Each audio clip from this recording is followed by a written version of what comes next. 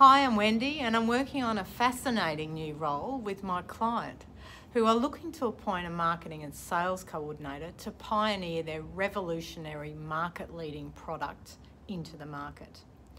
My client has a unique patented product that is part of many off the shelf and customised solutions to support logistics and materials handling.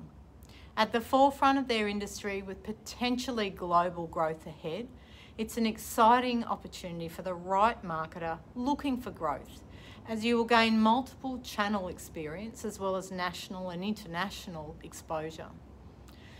You will also be up close and personal with the decision makers of the business.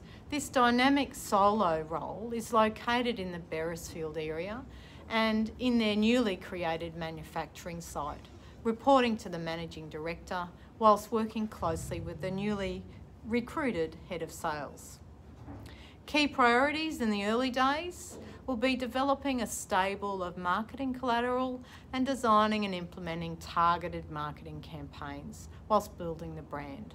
As time goes on though, this role will get bigger with the opportunity to be in on the ground floor whilst growing the marketing arm of the business.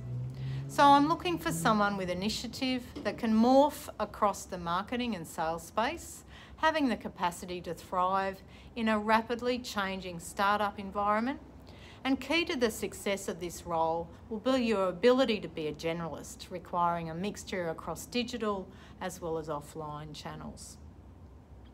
Even though this role is very hands-on, it's a very diverse role. And we aren't expecting you to be an expert in everything, of course, perhaps project managing with external consultants when required. So this great opportunity, if it sounds like you and the right timing, Please have a read of the job ad on our website and I welcome your application.